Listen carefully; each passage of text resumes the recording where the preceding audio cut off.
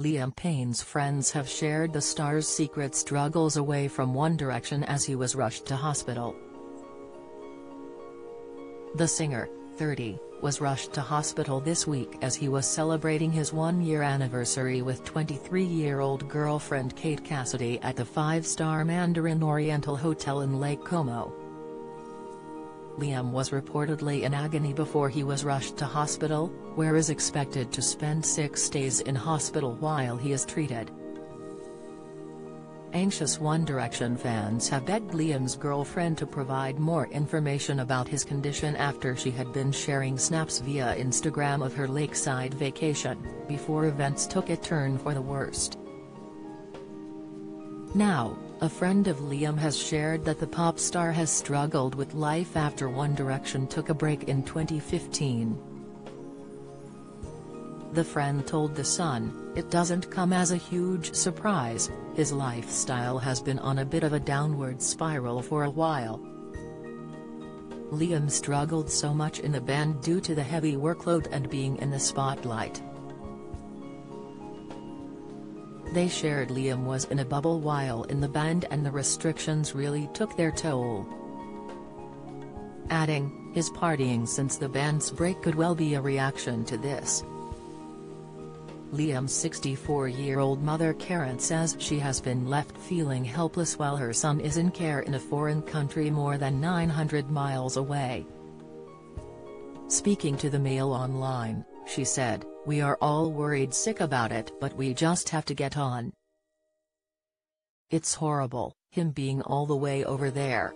He's in Milan and it sounds like he'll be there for a week. I feel helpless, on Tuesday, news broke that Liam had been rushed to hospital after suffering pain in his kidneys.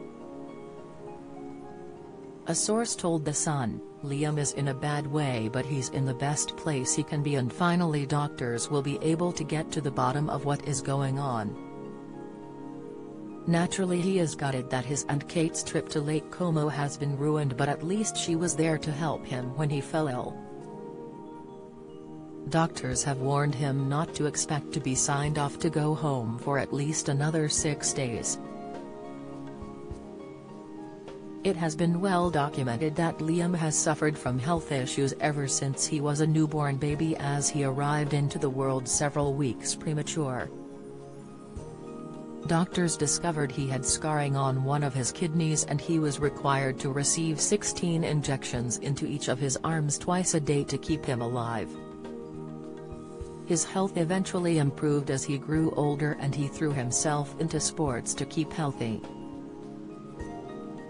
He later explained that his health scare as a baby gave him a clear perspective to live a healthier life. He said previously, I have to be careful not to drink too much, even water, and I have to keep myself as healthy as possible. Follow Mirror Celebs on Snapchat, Instagram, Twitter, Facebook, YouTube and Threads.